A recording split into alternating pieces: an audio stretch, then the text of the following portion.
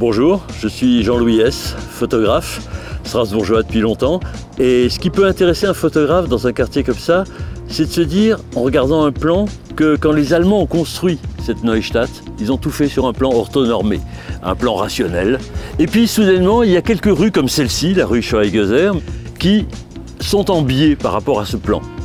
Tout simplement parce que je crois que les, les Allemands avaient envie, dans ce plan-là, d'inclure en perspective la cathédrale.